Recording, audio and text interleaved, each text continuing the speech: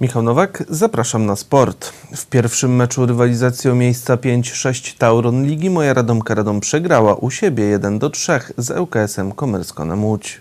Rywalizacja o miejsca 5-6 rozgrywana jest na zasadzie dwumeczu z ewentualnym złotym setem przy remisie 1 do 1. Pierwsze spotkanie rozegrane zostało w Radomiu ze względu na to, że po fazie zasadniczej Radomianki były wyżej w tabeli. W dwóch pierwszych meczach bezpośrednich w fazie zasadniczej dwukrotnie górą był ŁKS Komerskon.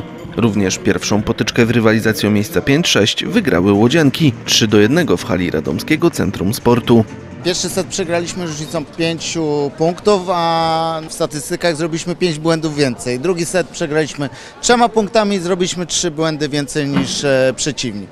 Tak, w, w trzecim secie się to już e, wyrównało, wygraliśmy seta i niestety te błędy gdzieś nas tam od początku sezonu no, nie pozwalają nam rozwinąć e, się w grze, więc e, no cóż nam pozostaje. No, przegraliśmy, ŁKS był lepszy, wykorzystał e, to, że popełniliśmy te, tą ilość błędów, więc e, wygrali to spotkanie, ale ja czuję duży niedosyt, bo nie uważam, żebyśmy byli o wiele słabszą e, drużyną e, na słabszym poziomie dzisiaj w tym meczu niż e, drużyna z Łodzi. Jeśli Radomka w drugim meczu wygra z ŁKS-em, to do rozstrzygnięcia rywalizacji o piąte miejsce potrzebny będzie złoty set. Stawką jest udział w europejskich pucharach w przyszłym sezonie. My sobie doskonale zdajemy sprawę z tego, co, o co gramy, jakie są też e, cele założone przez klub w stosunku do drużyny.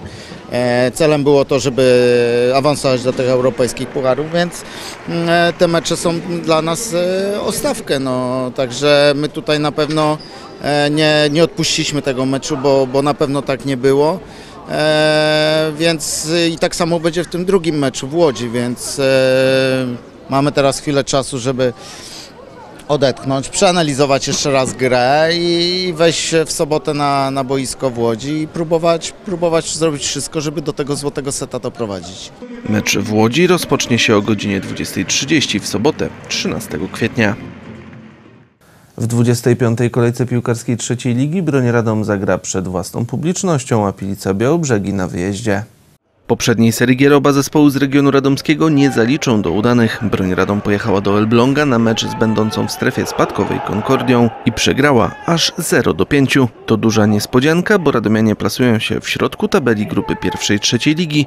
W następnej kolejce podopieczni Mateusza Dudka podejmą Mławiankę Mława, która jest tuż nad strefą spadkową. To spotkanie rozpocznie się w piątek 12 kwietnia o godzinie 18.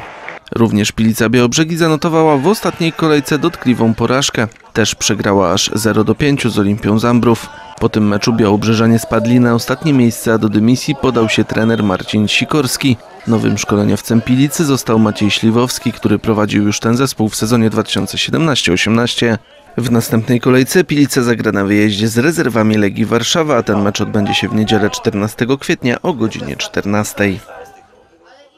To wszystko na dziś. Zapraszam na prognozę pogody. Do zobaczenia.